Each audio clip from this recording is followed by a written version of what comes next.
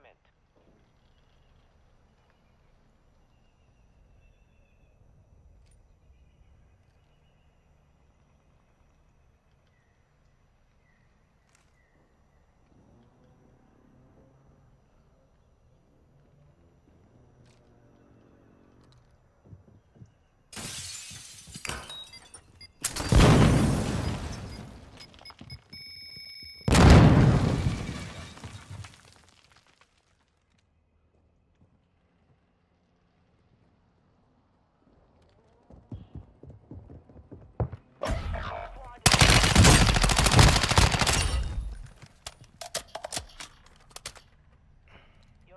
was broken.